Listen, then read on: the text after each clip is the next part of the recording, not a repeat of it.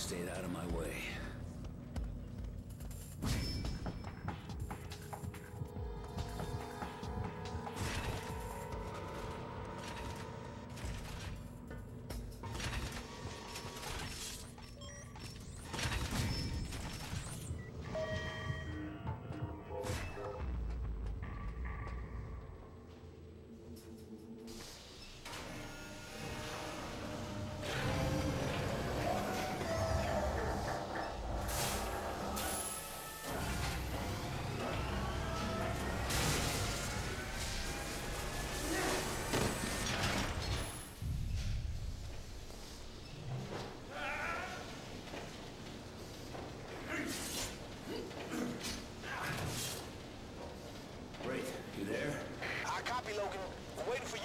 You with the chopper ready to go.